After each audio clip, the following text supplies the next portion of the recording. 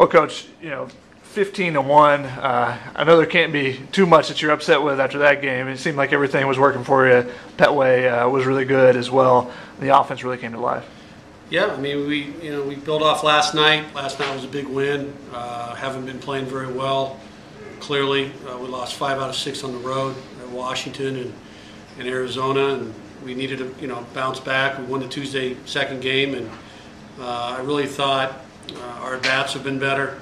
Uh, you know, our middle lineup is is swinging it pretty good, and our, our top and our bottom have, have added to it. So uh, Mercer's a really good pitcher. Uh, clearly, he's up up to 96 with a good change and a good breaking ball, and so he's not easy to hit at all. I mean, he's one of the tougher guys out there to hit in our league, and uh, you know, Jeremy comes up with a leadoff home run, and then then he dominates us for about seven, eight hitters, and and then uh, we get two guys on in the fourth, and then Jeremy hits that home run to right. So. Uh, a lot of good at bats, and uh, you know we're, we're, we're playing better defense and we're pitching a little better. So it seems it seems like we're back on track a little bit. Was it just a case of getting home, or you know? Well, it's a good question. I mean, you know, we we we pride ourselves playing on the road, um, and you know we didn't play. Arizona handled us, and uh, Washington uh, pretty much uh, handled us. So, um, you know, it was discouraging for sure.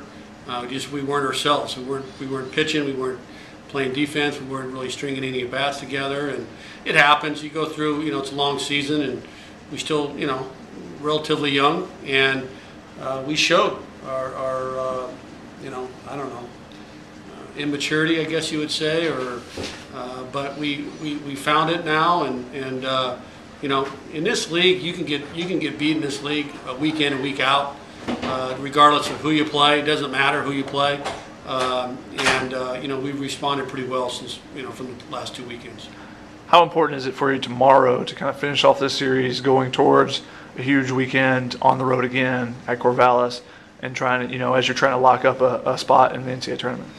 Well, you know it's it's all about it's not you know about playing well. You know I mean if we play well, you know we feel we can play with anybody. I mean um, you know even with our you know injuries on the mound. I mean, it's you know with John and Kyle and, and, and Hoop and you know it's been it's been difficult, but the guys have done a really good job. I mean, Bird has stepped up, Pettway has stepped up, and but tomorrow's you know whenever you win the first two games, tomorrow's you know it's always a big game, and then then you're facing you know the, the you know one of the best teams in the, in the conference, uh, you know Oregon State, if not the best team. So.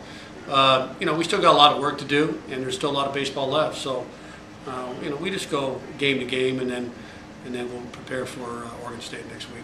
What did you kind of expect out of Pettway coming into this season? I mean, before you lose Hooper and Yeah. you know, Molnar and Olson, I mean, was he even expected to compete for that rotation spot? He thought he was going to be our Tuesday guy. Okay. You know, it really was lined up to go.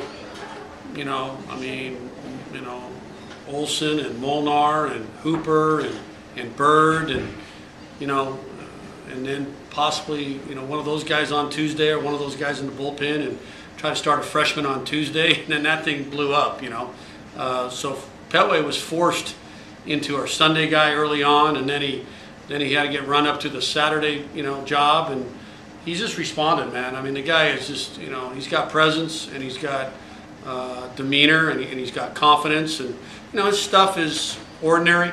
Uh, I don't think anybody, you know, says, "Hey, this guy, wow, this stuff is unbelievable." But you know, you got to learn to pitch with what you have, and and that's what he does. He does a really good job of knowing himself and and competing. And there's times where it, it looks a little rough, you know, as a freshman you would expect. I mean, look at some of the best pitchers in the in this conference. It's tough to, to pitch well as a freshman, and overall, you know, he's he's he's been a savior. I mean, he stepped up in a big, big way, and uh, you know, uh, you know, we just got to keep on riding him on Saturdays. And then lastly, Jeremy Ydens at the top of the lineup. Seems like he's gotten really hot, but also just, you know, what's been maybe the progression of him to be able to go the opposite way with a home run besides, you know, the first one going four and fourteen feet, but then Yeah. I think more impressive going the other way.